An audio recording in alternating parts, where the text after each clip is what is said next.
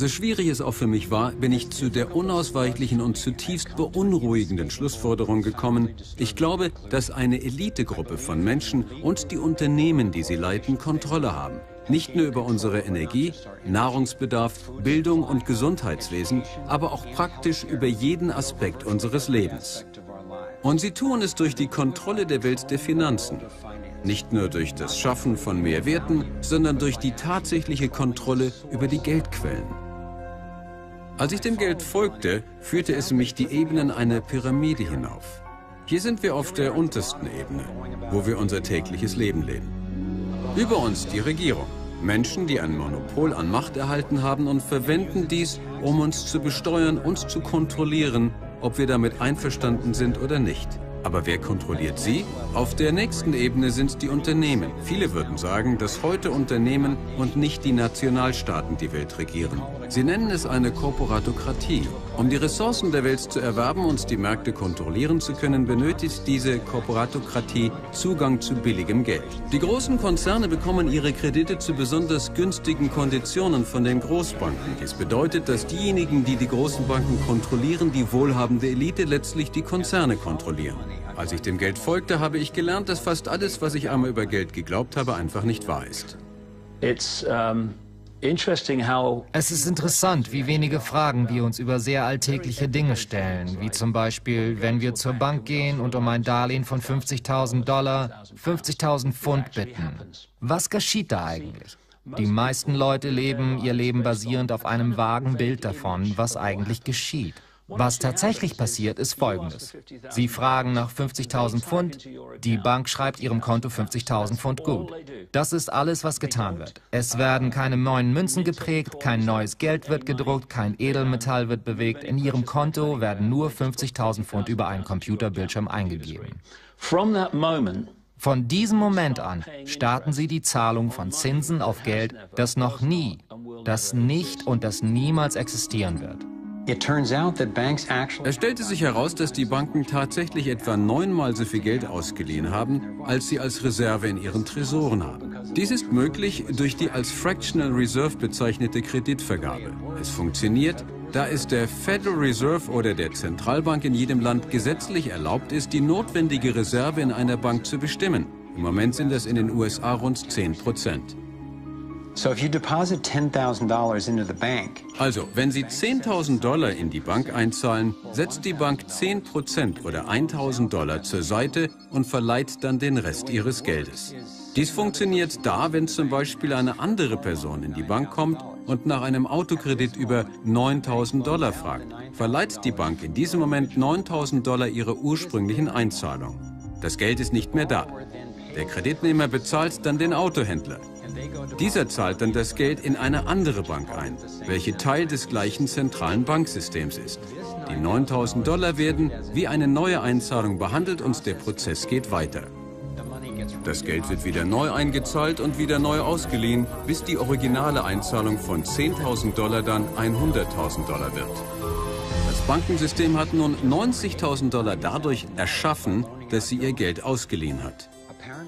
Offenbar begann dies mit den Goldschmieden im 17. Jahrhundert, als die Leute mit Gold handelten.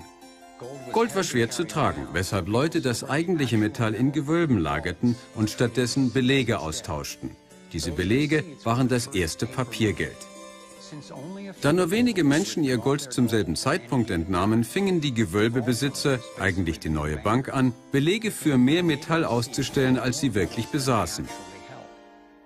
Sie liehen solche Belege aus und berechneten Zinsen auf das Geld, Gold, das sie nicht wirklich hatten. So ist das sogenannte Fractional Reserve System geboren worden. In diesem System machen die Bankiers Geld aus dem Nichts, während der Rest von uns hart arbeiten muss, um es zu verdienen. Dies hat eine moderne Form der Leibeigenschaft geschaffen, wo heute die Masse der Gesellschaft arbeiten muss, um ihre Schulden an die Bank zu tilgen. In diesem Mindestreservensystem werden wir unweigerlich Schuldensklaven zu einer herrschenden Klasse von finanzieller Elite, nicht weil diese besser oder klüger sind als alle anderen, sondern weil sie das System manipuliert haben, um, auf Kosten der meisten Menschen auf diesem Planeten, selber zu profitieren. Catherine Austin Fitz ist eine Expertin zu diesem Thema. Sie war Assistant Secretary of Housing und Urban Development unter Präsident George Bush Senior Und dann eine Beraterin der Clinton-Administration. Lassen Sie uns ein Monopoly-Spiel spielen und Sie möchten die Parkstraße kaufen. Was ich nun wiederholt tun kann, ist, Geld zu drucken, mir selbst mehr Geld zu geben, dadurch den Wert Ihres Geldes senken, da ich immer mehr drucke. Egal wie hart Sie arbeiten oder wie erfolgreich Sie sind, am Ende kann ich sie immer kostenfrei aufkaufen.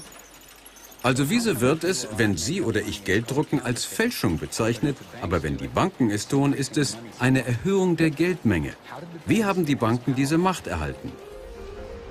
Dies ist Jekyll Island, wo sich im Jahre 1910 Vertreter von den Rockefellers, Rothschilds, Morgans und anderen Privatbankiers heimlich trafen, um die Gesetzgebung, die die Federal Reserve schaffen würde, zu entwerfen.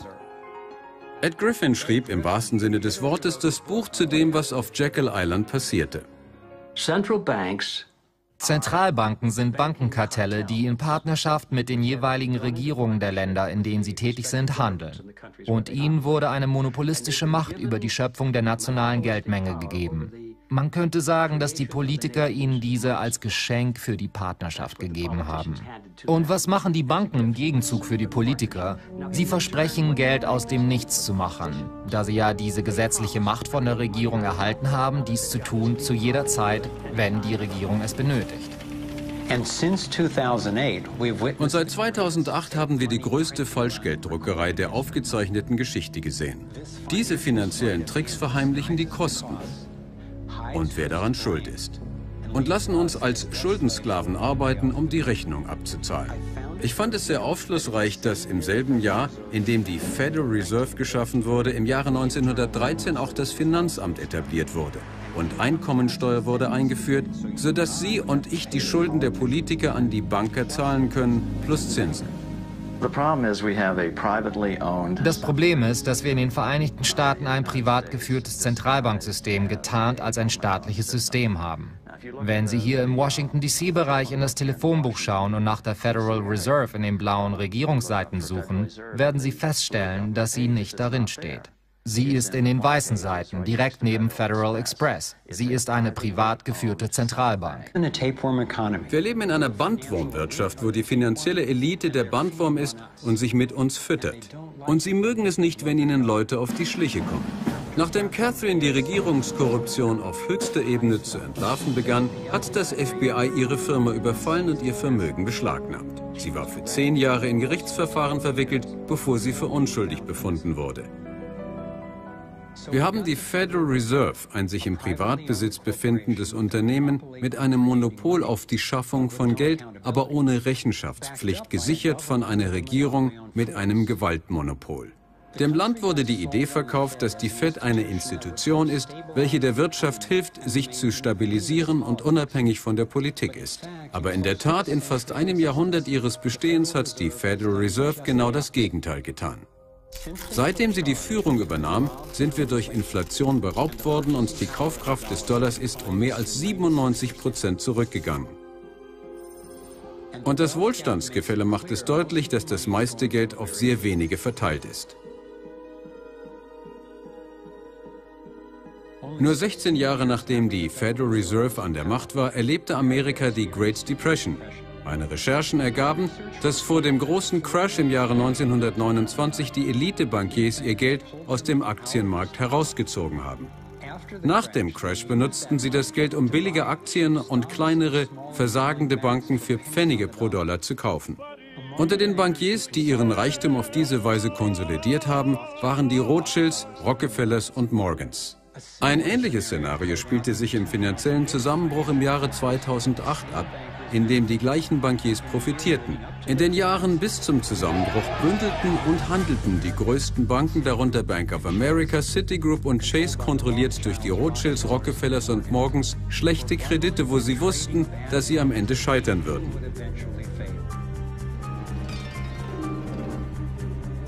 Es ist, als wenn man faule Orangen in eine Kiste tut und dann diese als erste Wahl verkauft. Die Bündler dieser Schulden wussten, dass es nur eine Frage der Zeit war, bis jemand die Box aufmachen würde, um zu sehen, dass der Inhalt wertlos war, da sie diejenigen waren, die die Boxen in erster Linie verpackt hatten.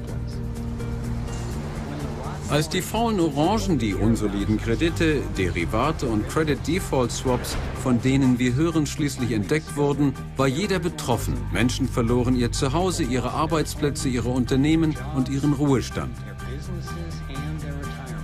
In der Zwischenzeit wurden die größten Banken, die das Problem in erster Linie geschaffen hatten, gerettet. Warum? Warum gab die Federal Reserve Milliarden an die Banken, obwohl die Mehrheit der Amerikaner dagegen war, sie zu retten?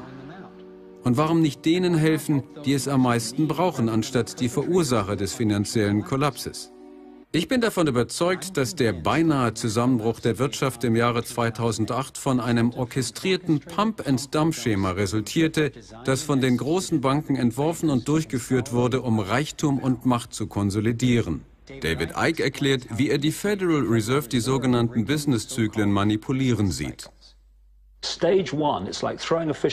Stufe 1 ist wie das Auswerfen einer Angelschnur. Stufe 1. Sie setzen eine Menge Geld, Einheiten des Austauschs, in Umlauf. Sie tun dies, indem sie Zinssätze nach unten drücken, indem sie viele Darlehen geben. Dies ist der Teil des Zyklus, den wir einen Boom nennen. Weil es viele Einheiten des Austauschs im Umlauf gibt, gibt es viel Geld, das den Besitzer wechselt. Dieses generiert viele wirtschaftliche Aktivitäten. Es bringt Arbeitsplätze und mehr und mehr Geld wird ausgegeben. Es gibt mehr Nachfrage, sodass Unternehmen mehr Kredite für neues Geld aufnehmen, um ihre Produktion zu erhöhen. Leute werden zuversichtlich in ihrem Alltag. Hey, weißt du, ich arbeite für dieses Unternehmen und wir bekamen viele Aufträge. Es ist wirklich toll. Mein Job ist sicher. Ich sage dir was, wir werden ein größeres Haus kaufen. Dann beginnen sie mit der Änderung. Was sie tun ist, dass sie an der Angelschnur ziehen. Sie drücken die Zinsen nach oben. Nun nehmen weniger Menschen einen Kredit auf und sie machen die Kriterien für einen Kredit von der Bank strenger. Und jetzt, da die Zinsen gestiegen sind, wird ein großer Teil des Volkseinkommens dafür verwendet, die Extrazinsen zu bezahlen und nicht dafür Dinge zu kaufen. Plötzlich ist nicht mehr so viel Geld im Umlauf und daher werden weniger Dinge gekauft. Unternehmen verlieren in Bezug auf ihre Gewinne. Sie fangen an, Stellen abzubauen und sie fangen an zu schließen. Leute verlieren ihre Arbeitsplätze. Sie können ihre Hypothek von dem großen Haus nicht mehr bezahlen, welche sie in guten Zeiten aufgenommen haben. Nun fangen die Banken an, die Angelschnur wieder einzurollen, weil, wenn sie in Konkurs gehen, Unternehmen oder Privatpersonen, die Banken nun den wirklichen Reichtum bekommen. Das Eigentum, das Land, die Mittel, die sie hatten, um die Kreditvergabe zu unterzeichnen, welches am Ende nur Zahlen am Bildschirm waren. Nun wurde dieser Konjunkturzyklus der Angelschnur raus, Angelschnur zurück, viele Einheiten im Umlauf, zurückziehende Einheiten seit Jahrhunderten praktiziert. Dies hat gestohlen und den wahren Reichtum der Welt in die Hände von wenigen kumuliert. Auf der internationalen Ebene verwenden die Zentralbankiers die Weltbank und den Internationalen Währungsfonds, um mehr Geld zu verdienen, während sie die Ressourcen der Länder ausnutzen, denen sie etwas leihen, welche sie während dieses Prozesses ruinieren. Die Zentralbank der Zentralbanken ist die von Rothschild geschaffene Bank für den internationalen Zahlungsausgleich. Die Elite positionierte sich so, dass sie praktisch Zugang auf alles hat, um alles, was wir zum Überleben brauchen, zu kontrollieren. Egal wo sie auf der Welt hingehen, das Geld wird vom Bankensystem kontrolliert. Die Bank kontrolliert, ob Leute essen oder nicht, wer ein Milliardär ist und wer mit weniger als einem Dollar pro Tag zu leben hat. Wer das Geld kontrolliert, beherrscht die Welt. Und nur sehr wenige Menschen kontrollieren das Geld. Zu diesem Zeitpunkt hatte sich meine Weltansicht auf den Kopf gestellt. Ich hatte Schwierigkeiten mit der Erkenntnis, dass das Versagen und Leid von so vielen in Wirklichkeit für wenige die Elite-Zentralbankiers, die die Welt zum Narren gehalten haben, Erfolg und Erfüllung ist. Sie haben bereits riesige Vermögen, also was ist ihr Schlussziel? Was sind ihre wahren Absichten? Ich sah Experten, die sagten, dass die geheime Agenda des elitären Bankensystems nichts anderes ist als totale Weltherrschaft. Wenn diese kleine Gruppe die ganze Welt beherrschen will, was würde sie kontrollieren müssen, um dies zu erreichen? In erster Linie müssten sie Geld kontrollieren. Und sie tun das. Die Kontrolle des Geldes ermöglicht ihnen, alles andere zu steuern. Sie müssten Energie kontrollieren. Und sie tun das. Sie kontrollieren bereits große Landwirtschaften und den Welthandel. Sie kaufen auch die weltweite Wasserversorgung auf. Sie haben die Gesundheit in ihrer Tasche und sie versuchen natürliche Alternativen zu unterdrücken. Sie müssen kontrollieren, welche Informationen wir erhalten und wie wir darauf reagieren sollen. In Amerika ist das Internet unser größtes Werkzeug für Kommunikation und Basisorganisationen im Moment nicht kontrolliert oder zensiert. Aber der offene Status wird von allen Seiten angegriffen. Regierungen, Unternehmen und die Vereinten Nationen versuchen alle die Kontrolle zu übernehmen. Für eine vollständige Herrschaft muss der Dissident kontrolliert werden. Sie müssten unsere Rechte wegnehmen, normale Bürger ausspionieren und jeden Aspekt unseres Lebens verfolgen. Ich erkannte, dass ich, um mir dies vorstellen zu können, entdecken musste, wie ihre herrschende Struktur aussieht und wie sie funktioniert. Eine relativ kleine Gruppe von Familien, insbesondere die Rothschilds, Rockefellers, Morgans und Carnegies, zusammen mit den Harrymans, den Schiffs, den Warburgs, sind seit Generationen führend in der kontrollierenden Elite im Westen. Ich will nicht implizieren, dass jeder Einzelne in diesen Familien sich dessen bewusst ist oder aktiv in der globalen Vorherrschaft-Agenda ist. Ich bin jedoch überzeugt, dass die Führer dieser Dynastien die Unternehmens- und Bankeninteressen kontrollieren, welche den finsteren Plan ausführen, der so viele Menschenleben vernichtet. Diejenigen, die heimlich diese Agenda forttreiben, sind unter vielen Namen bekannt. Durchgesickerte Berichte bestätigen, dass sie sich überall auf der Welt hinter verschlossenen Türen treffen, um ihre Agenda zu diskutieren. Dann wie am Schnürchen beginnen sich diese Pläne in den Medien, Finanz-, Unternehmens-, Regierungs- und Militärbereichen zu zeigen. Natürlich ist nicht jeder in dieser Gruppe beteiligt an den Entscheidungsfindungen. Es gibt eine Hierarchie des Wissens und der Teilnahme. Eines der wichtigsten Symbole der Kontrolle der Elite ist das All-Seeing Eye. Es ist auf dem Dollarschein. Es ist auf dem amerikanischen Massenüberwachungssystem, das zunächst Total Information Awareness genannt wurde. Es ist auf dem britischen Intelligence Agency und es übersieht sogar den obersten Gerichtshofkomplex in Israel vollständig gestaltet und finanziert von den Rothschilds. Eine der schmerzhaften Arten, in welche diese Information verwendet wurde, ist von Menschen, die Antisemitismus fördern wollen. Sie nennen dies eine jüdische Agenda und führen Rassismus weiter, welche das Leben von vielen untergräbt und zerstört. Lassen Sie mich klarstellen, dies ist definitiv nicht eine jüdische Agenda. Es ist dokumentiert worden, dass die Zentralbankiers beide Seiten des Zweiten Weltkrieges sowie einige der Unternehmen, die mit Hitlers Gräueltaten gegen die Juden in Verbindung waren, finanzierten. Da diese Menschen mehr Geld haben, als ihre Familien in Generationen brauchen und da sie die Macht haben, Geld zu schaffen, glaube ich nicht, dass Reichtum ihr Endziel ist. Nachdem sie alle materiellen Dinge, die sie sich im Leben vielleicht wünschen könnten, haben, was ist noch übrig, das sie begeistert? Und für viele Menschen ist die Antwort Macht. Weltmacht. Sie wurden zu einer intellektuellen Elite, die zu denken begann, dass sie einen Plan hatte, der besser war als jeder andere Plan. Es ist eine Trennung- und Besiegungsstrategie, um uns alle gegeneinander auszuspielen und zu denken, dass es die Demokraten oder Republikaner, die Liberalen oder Konservativen sind, die das Problem darstellen, wenn beide Parteien letztendlich den gleichen Plan befolgen. Ich glaube, wir steuern auf eine totalitäre Weltautorität zu. Eigentlich eine Militärdiktatur gesteuert von einer kleinen Elitegruppe, die die ganze Macht hat und alle Regeln macht.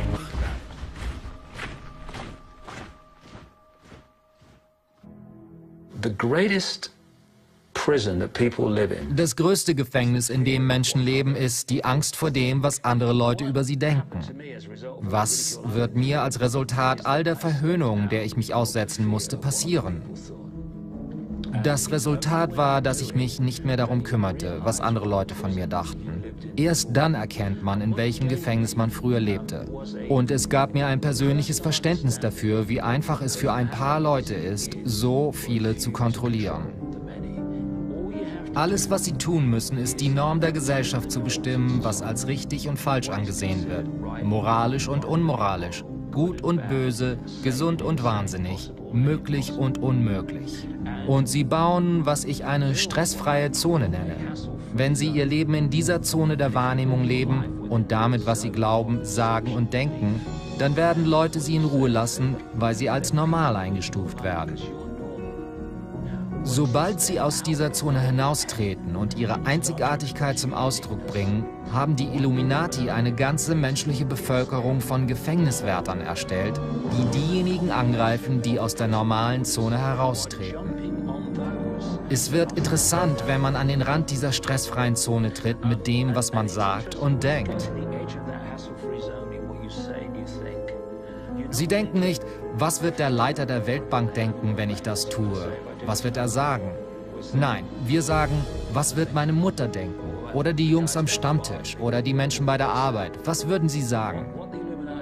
Indem sie die Norm etabliert haben, haben die Illuminati eine absolute Armee von Leuten erstellt, die diese Normen auf andere auferlegen.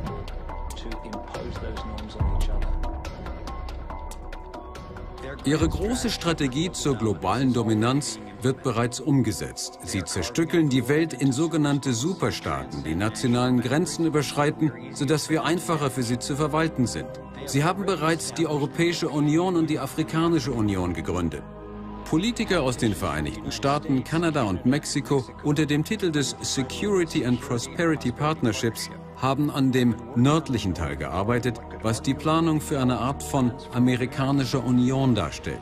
Dies geht schon seit Jahren ohne die Zustimmung von Bürgern oder dem Kongress vor. Eine Pacific Union ist bereits in Arbeit. Dies ist ein Organigramm für globale Tyrannei, die Struktur für die vollständige Kontrolle. Hier sprechen zwei der mächtigsten Männer in Europa über die Umstellung auf eine einzige Weltregierung.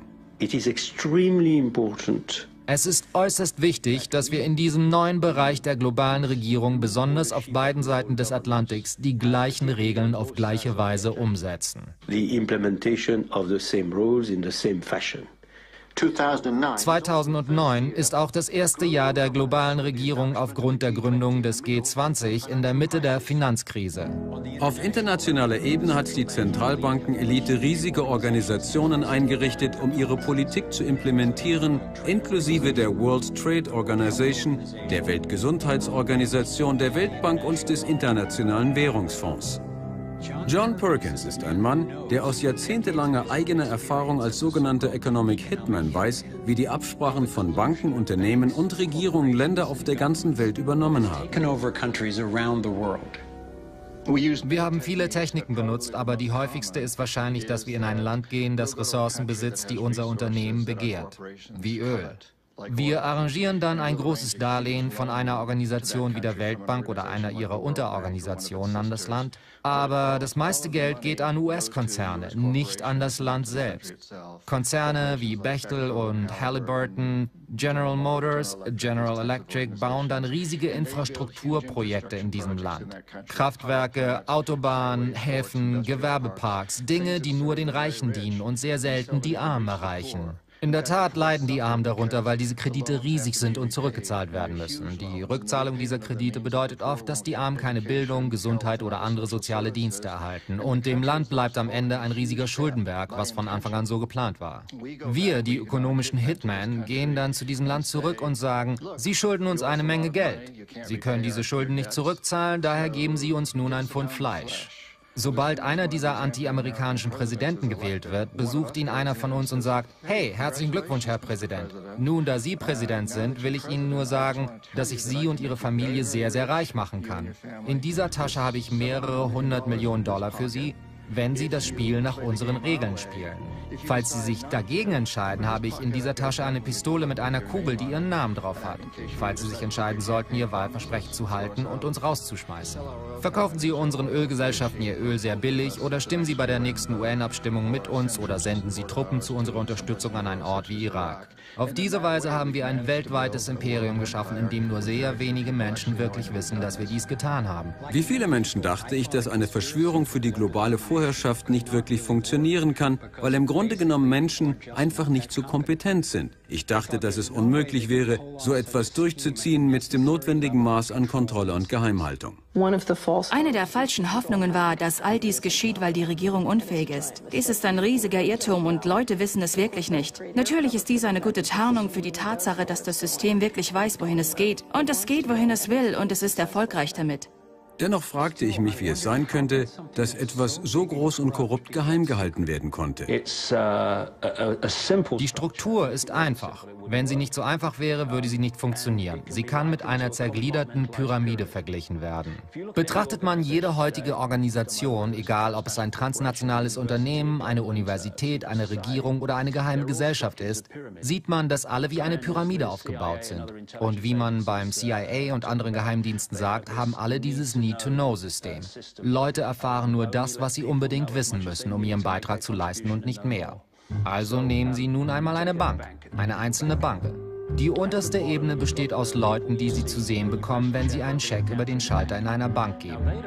Angestellte wissen nicht, was der Bankmanager im Hintergrund weiß und diskutiert. Diese Leute wissen nur genug, um ihren Job zu tun. Der Bankmanager ist im Büro hinter ihnen. Er oder sie weiß nicht, was auf der nächsten Ebene passiert. Und diese wissen nicht, was wiederum auf der nächsten Ebene geschieht.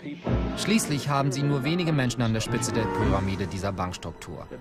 Diese Leute sind die einzigen, die die wirkliche Agenda der Bank kennen, welche Ziele sie hat und warum. Diese Art der Abschottung erklärt, wie das Manhattan-Projekt, welches die Atombombe im Zweiten Weltkrieg entwickelte, geheim gehalten wurde, obwohl 130.000 Menschen daran arbeiteten.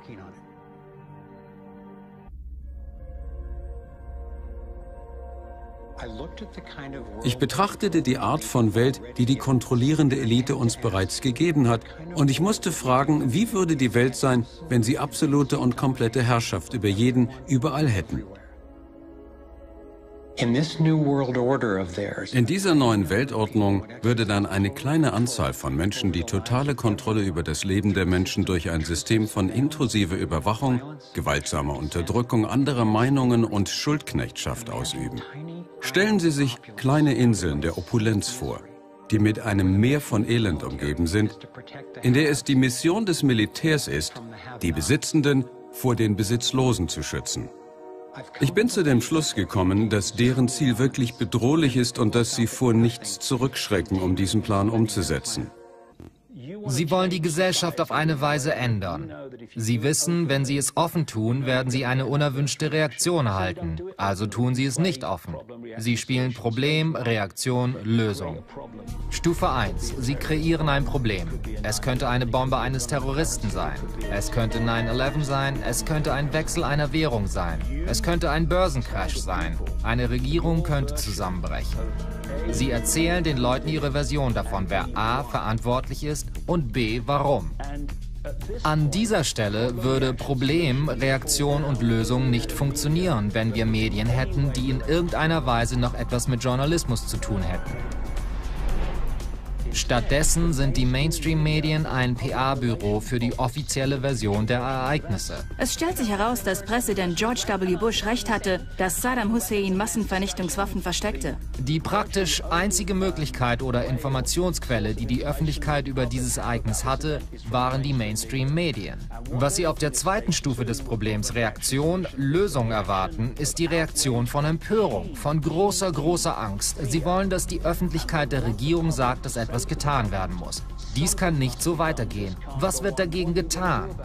Dies ermöglicht die dritte Stufe, in der diejenigen, die das Problem kreiert haben, die Reaktion der Öffentlichkeit mit einer falschen Geschichte polieren, um dann öffentlich eine Lösung für ein Problem anzubieten, das sie selbst geschaffen haben.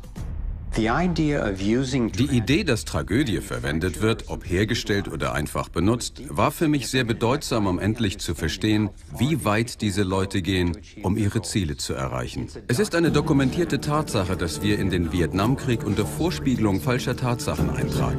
Der ehemalige US-Verteidigungsminister Robert McNamara hat zugegeben, dass der Angriff auf ein Schiff im Golf von Tonkin nicht tatsächlich stattfand. Unsere Meinung, dass wir an diesem Tag angegriffen wurden, war falsch. Es ist nicht geschehen.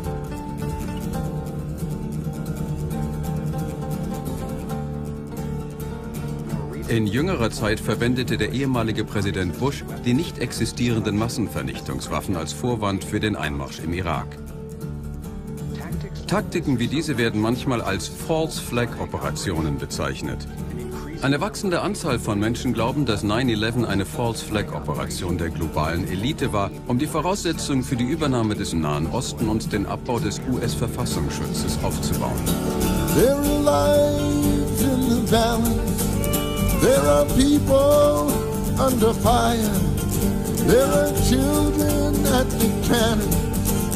There is blood on the wire.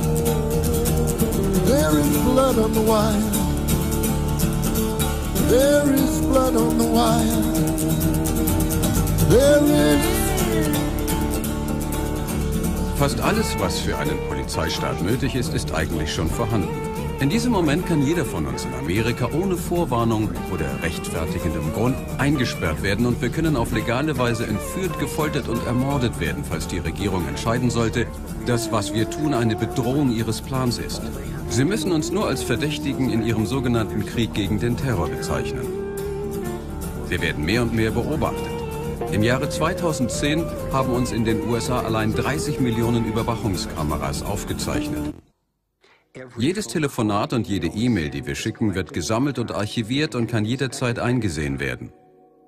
Unsere Führerscheine und Pässe haben einen Computerchip implantiert, damit jede unserer Bewegung verfolgt werden kann. Nun werden Krankenhauspatienten die gleichen Chips unter die Haut implantiert. In der Tat waren es Procter Gamble, die diese Chips entwickelten, zunächst um ihre Produkte verfolgen zu können. Es wird immer als hilfreich angeboten, aber sogar der Assistant Director of Central Intelligence hat zugegeben, dass es ein Einstiegspunkt ist, um alle von uns mit einem Chip zu versehen, um uns besser verfolgen und kontrollieren zu können. Diese Möchtegern-Kontrollierer haben durch den US Space Command einen Plan namens Full Spectrum Dominance vorgestellt. Hochentwickelte Satellitenüberwachung sowie Direct Energy und Laserwaffen, die bereits entwickelt sind, haben die Möglichkeit, auf Dissidenten überall auf der Erde zu zielen. Ich glaube, dass sie versuchen sicherzustellen, dass sie effektiv mit jedem Widerstand umgehen können. FEMA Containment Camps und Eisenbahnwaggons mit Fesseln, wurden kürzlich überall in den Vereinigten Staaten gebaut oder renoviert für den Einsatz, in dem was Beamte als Zeiten der Pandemie oder Unruhen bezeichnen.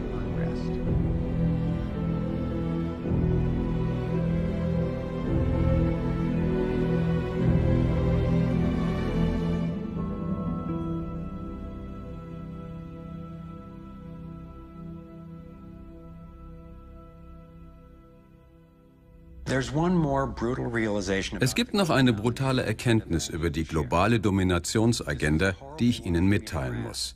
Es war für mich furchtbar, diese zu erkennen, aber ohne sie wäre meine Untersuchung nicht vollständig und unsere Lösungsstrategien würden unzureichend informiert sein. Ich fand erschreckende Dokumentation, dass Eugenik eine der zentralen Säulen ihres Plans ist. Eugenik ist die Praxis, wo wenige Leute entscheiden, wer würdig ist, sich fortzupflanzen und wer nicht. Sterilisation ist eine der vielen heimtückischen Wege, wie dieser heimliche Plan umgesetzt wird. Im Jahre 1904 finanzierten die Carnegies das erste Eugeniklabor in Cold Spring Harbor, Long Island. Die Rockefellers finanzierten die Zwangssterilisierung von Menschen mit farbiger Haut durch das Eugenikprogramm und finanzierten das Kaiser-Wilhelm-Institut in Deutschland für die rassische Überlegenheitsagenda, die später von Hitler übernommen wurde. Im Jahre 2007 finanzierte das US Department of Agriculture und Homeland Security ein vorgeschlagenes Projekt, das über sieben Millionen Menschen in städtischen Gebieten von Nordkalifornien Luft gesprüht hätte. Nachdem sich Bürger gegen diesen Plan organisiert hatten, waren die Beamten gezwungen, offenzulegen, dass in dem Spray Giftstoffe, die Krankheiten verursachen und den Fortpflanzungszyklus stören können, enthalten waren. Glücklicherweise hielt der zivile Widerstand das Projekt auf. Die US-Regierung ist über 30 Mal dabei erwischt worden, heimlich Experimente mit giftigen Chemikalien an ihren eigenen Bürgern, Soldaten, Gefangenen und Indianerreservaten, ganzen Städten und Landkreisen auszuprobieren. Verdeckte Massensterilisierung von Frauen und Mädchen in der Regel mit Hilfe geheimer Zusätze zu Impfstoffen wurden in Brasilien, Puerto Rico, Nicaragua, Mexiko und den Philippinen aufgedeckt. Diese waren unter der Schirmherrschaft von Programmen wie John D. Rockefellers Population Council, das US Department of Health, Education and Welfare, wo Nelson Rockefeller Undersecretary war, und die von Rockefeller gegründete World Health Organization.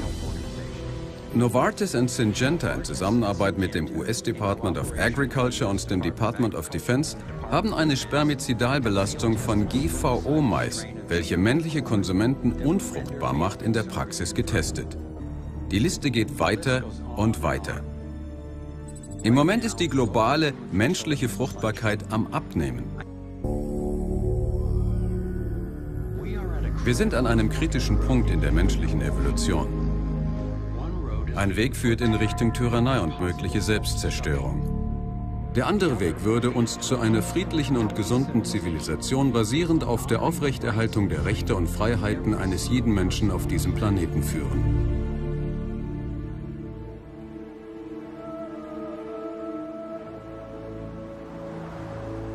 Um diese neue Richtung einzuschlagen, liegt es an Ihnen und mir, diesen Weg zu räumen. Die Zeit ist gekommen, um genug zu sagen. Es geht auch anders. Sind wir Menschen, so wie die Elite es uns glauben lässt, dumme, gierige Kreaturen, die, wenn uns selbst überlassen, in Gewalt und Chaos übergehen würden und dann für unseren eigenen Schutz von einer selbsternannten Elite beherrscht werden muss?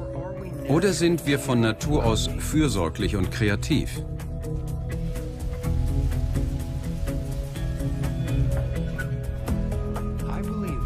Glaube, wenn Menschen gesund sind und alles, was sie zum Überleben brauchen, haben, können wir eine Welt erschaffen, die auf Integrität, Freiheit und Mitgefühl basiert.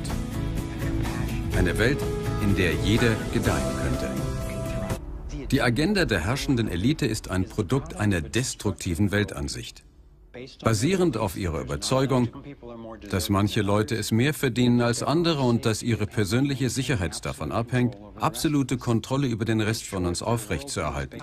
Aber so mächtig sie auch sind, können die Architekten der neuen Weltordnung diese schrecklichen Visionen nicht ohne unsere Kollision erschaffen. Um sie zu stoppen, um ihre Agenda als veraltet zu erklären, müssen wir aufwachen, wir müssen Maßnahmen ergreifen. Es scheint, dass die kontrollierende Elite alle Karten hat, aber wir haben unsere eigenen Vorteile. Sehr wenige Menschen üben bewusst die Herrschaftsagenda aus. Die meisten derjenigen, die helfen, diesen Plan umzusetzen, verstehen das vollständige System, an dem sie teilnehmen, nicht. Nach meinen Berechnungen übertreffen wir zahlenmäßig die tatsächlichen Architekten des Plans im Verhältnis von 1 zu 1 Million in den USA allein. Der wichtige Vorteil für uns ist, dass alle Machtzentren, die die Elitekontrolle benötigt, unsere Beteiligung benötigt. Wenn genügend Menschen deren Unterstützung zurücknehmen, kann ihr Plan nicht funktionieren. Dies gilt auch für die Zentralbanken, das Militär, die Massenmedien, die Regierung und vieles mehr. Es ist keine Frage, dass das Geld, das Kapital zunehmenderweise in den Händen von wenigen konzentriert ist. Und diejenigen, die so mächtig sind, konzentrieren es weiter. Aber es gibt eine Macht, die stärker ist und diese Macht ist die Macht des Volkes.